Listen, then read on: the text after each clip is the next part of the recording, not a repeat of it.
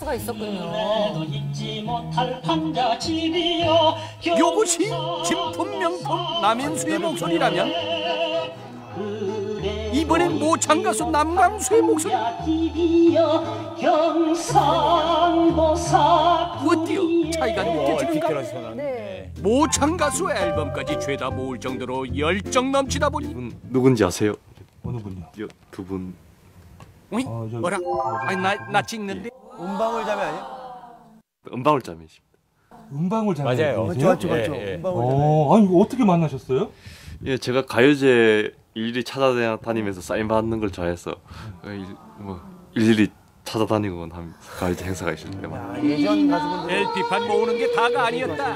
가수들이 공연장에 찾아가 사인까지 받아야 직성이 풀린다고. 진짜. 아이고 대단하구만 대단해. 당대 최고의 유명 가수들은 거의 다 만나봤을 정도.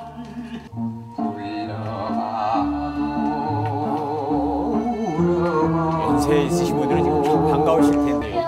LP판 들고 가면 사인 아닐 수가 없겠어요.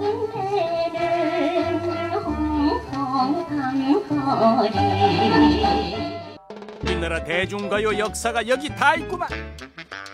그렇다 보니 가수들의 앳된 모습도 볼 수 있다고. 인순이 씨. 어, 진짜. 데뷔 후 야 이거 완전 옛날 앨범이네. 진짜 어리시네. 다양한 장르를 소화해내는 한국 최고의 여가수 인순이를 비롯해서 어머 애떼셔라. 그러니까 데뷔했을 때. 어 이 목소리 아, 아니 앳된 모습이다. 우리 그리고 집에 있었는데. 아. 어, 이거 이거 누구야? 어? 어? 잠깐만요. 낯익은 이 사람은 아니 뭐 하시는 거예요? 순간 포착의 명예 MC 아니야? 아 그때랑 변한 게 하나도 없구만. 나무 나무에서 이렇게 나. 포즈 포즈. 노래도 좋고 아싸! 우와, 저도 오래간만에 보네요, 이거.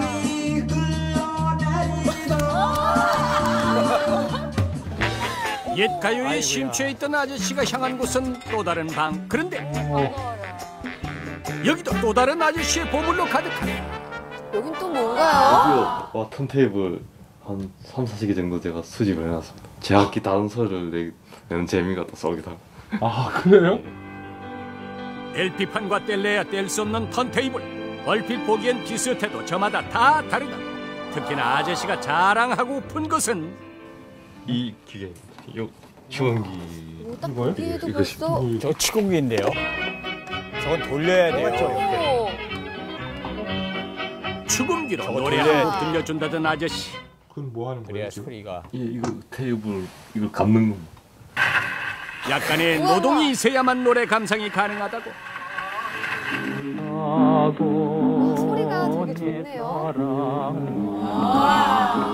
이야, 저건 진짜 좋구만 소리가 좋아. 나요. 신기하네요. 신기하죠. 네. 아저씨 노래 듣다 말고 특별한 무언가를 보여주겠다며 밖으로 나간다. 진짜 보물이네요. 좋아요? 아, 예, 아저씨는 자동차로 이동 중에도 LP판을 듣는 게? 가능하다는데 그건 안 되는데. 어 차에서. 기대형 쉬면 안 돼요. 바늘이 튀는데. 중간중간 신호 대기 중이라 이때 듣고 나거든요. 아저씨가 자랑스럽게 보여준 이것은 우와 뭐야? 들어는 봤나? 휴대용 턴테이블 이야. 언제 어디서나 LP판을 듣고 싶어서 자동차 안에까지 설치해뒀다 고 야외 나들이 다니는 갈 때 가지고 다니면서 종종 이거 음악을 듣고 납니다. 아, 음악 감상실이 되네요 차가. 자동차 보조석까지 당당하게 자리 잡은 턴테이블 운행할